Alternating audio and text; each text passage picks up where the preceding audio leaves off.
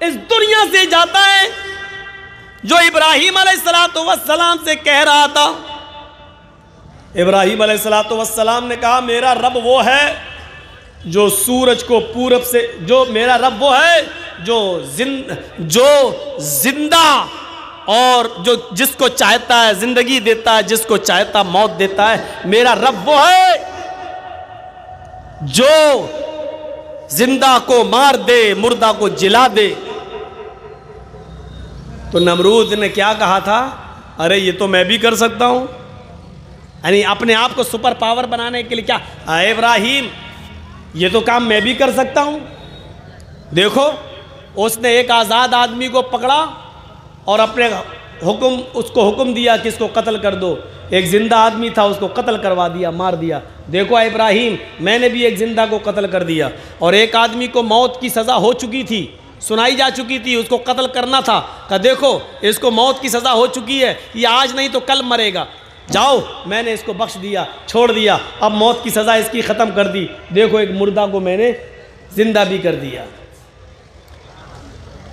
बादशाहों की खोपड़ी ज़रा घटिया होती है। और यही हाल नमरूद का भी था। तो इब्राहिम सलाम समझ गए, इसकी मोटी खोपड़ी है, मोटी अकल है, ये ऐसे नहीं समझेगा। तो हज़रत इब्राहिम ने उसके सामने दूसरी मिसाल पेश कर दी। और दूसरी मिसाल क्या पेश की? आए नमरूद तूने कहा कि मैं मुर्दा को जला सकता हूँ जिंदे को मुर्दा कर सकता हूँ, ठीक है। लेकिन मेरा रब तो वो है जो सूरज को पूरब से निकालता है और पश्चिम में डुबोता है। अगर तू रब है तो पश्चिम से निकाल के दिखा और पूरब में डुबो दे। निकाल पश्चिम से। हाँ? रह गया हक्का बक्का। सवाल करने वाला आदमी होना चाहिए ना। बड़े से बड़े बादशाहों का भी दिमाग घूम जाएगा, क्योंकि हुक्मरानों की खोपड़ियाँ थोड़ी मोटी होती हैं, वो दौलत के नशे में ना सवाल समझ पाते हैं, ना उनके पास सही जवाब आता है। और उन लोगों की भी खोपड़ियाँ खराब हो जाती हैं, जो हुक्मरानों की दौलत पर दुष्प्रचार करते हैं और उल्टा सीधा प्रचार करते हैं। उनको भी सिर्फ़ हुक्मरानों की तरफ़ से डाली हुई हड्डियाँ दिखाई देती हैं, बस उसका टेस्ट आना चाहिए और कुछ नहीं। तो मेरे भाइयों, वो नमरूद जिसने पूरी दुनिया पर हुकूमत की, अल्लाह कहता है कि अगर तुम्हारे ऊपर किसी सुपर पावर की हुकूमत नहीं है, अगर तुम्हारे ऊपर कोई ताकत काम नहीं कर रही है तो फिर तुम खुद ताकतवर हो। और जब तुम खुद ताकतवर हो तो मलकुल मौत से वो रूह छीन कर अपने अंदर वापस क्यों नहीं ले लेते?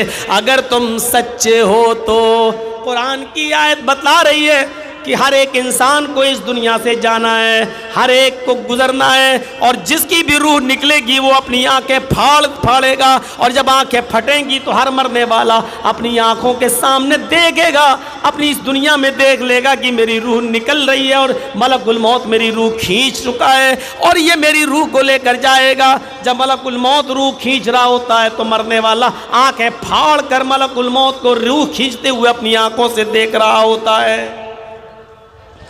ये है मौत का एक मंज़र जो हर किसी को मरना है। जाना इस दुनिया से। कुल्लु नफ्सिन मौत, व इनमा तुवफ़ौन उजूरकुम। यौमल क़ियामा, हर नफ्स को मौत का मज़ा चखना है। और दुनिया में तुमने जो कुछ भी अमल की है, उसको तुम अपनी आँखों से देख लोगे। क़यामत के दिन तुम्हें उसका पूरा का पूरा बदला दिया जाएगा। पूरा का पूरा जजा सजा अजर पूरा का पूरा दिया जाएगा।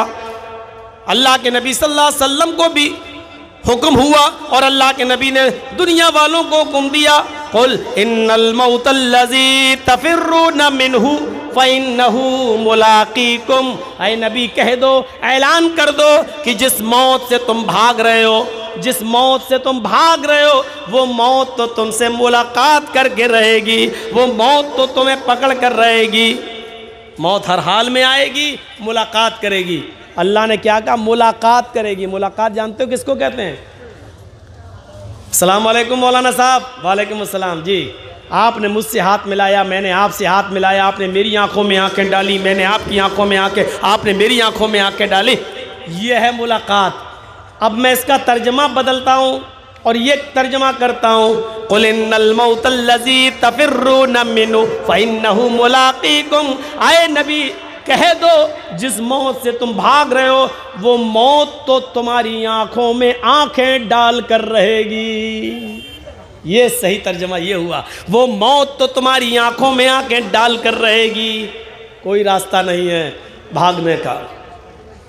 ये हो गया मौत। अब मर जाने के बाद भी चैन हो तब तो